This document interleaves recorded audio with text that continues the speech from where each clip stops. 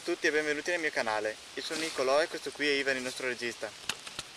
Ciao. In questo video continuerò la presentazione degli insetti della mia collezione, che era già iniziata qualche video fa. Se vi interessa vi lascio il link in descrizione per raggiungere i precedenti video di questa serie. In questo ho parlato più in generale della famiglia dei carabidi e poi ho pubblicato 4 video in cui parlavo di 4 specie in particolare. Il primo sulla marenea, il secondo sul... Pepe, proprio adesso devi venire qua. Eccolo qua.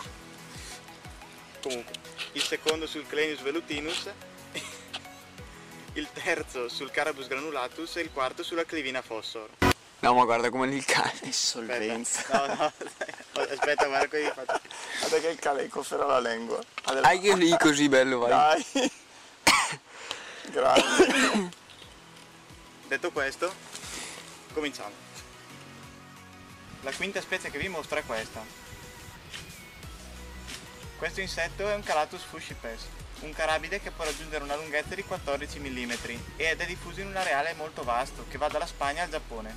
Vive generalmente in ambienti aperti come prati e campi, ma può essere trovato occasionalmente anche nei boschi. A parte quello nominale, esistono altre 5 sottospecie di Calatus fushipes, che sono Algiricus diffusa in Algeria, Marocco e Tunisia, Disjunctus diffusa in Turchia, Grecus che è quella che ho io ed è quella reale più vasta, infatti è diffusa in Albania, Bulgaria, Spagna, Francia, Grecia, Italia, Turchia e Ucraina.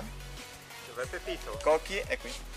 Cocchi diffusa in Libia e infine Si- Signaticornis diffusa in Italia, Francia e Spagna.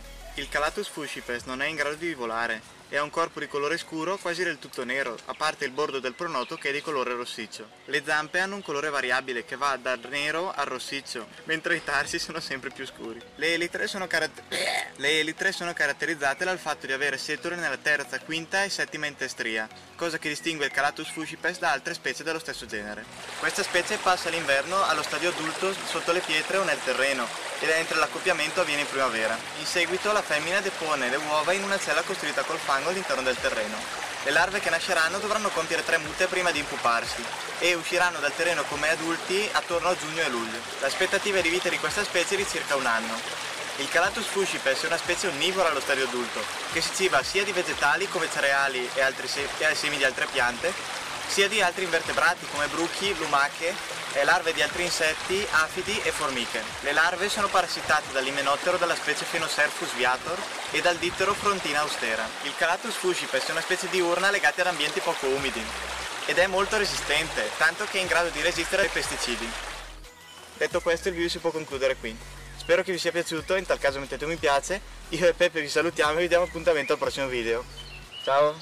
Ciao.